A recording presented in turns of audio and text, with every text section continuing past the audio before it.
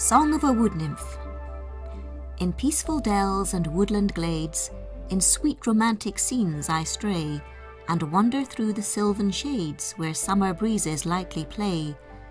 There at fervid noon I lave, in the calm pellucid wave.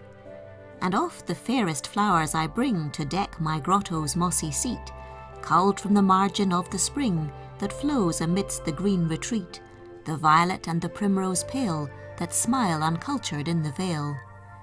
Reclined beneath some hoary tree, with tufted moss and ivy dressed, I listen to the humming bee whose plaintive tune invites to rest, while the fountain calm and clear softly murmurs playing near. And oft in solitude I rove to hear the bird of eve complain, when seated in the hallowed grove she pours her melancholy strain, in soothing tones that wake the tear to sorrow and to fancy dear.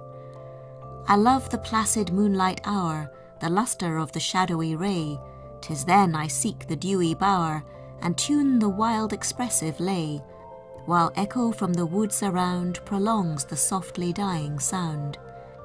And oft in some Arcadian vale I touch my harp of mellow note, then sweetly rising on the gale I hear celestial music float, and dulcet measures faintly close, till all is silence and repose.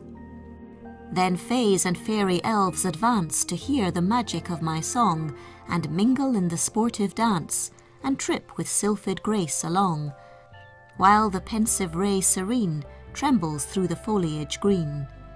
In peaceful dells and woodland shades, in wild romantic scenes I stray, and wander through the sylvan glades, with airy footstep light and gay, yet still my favourite lonely spot, the sweet retirement of the grot.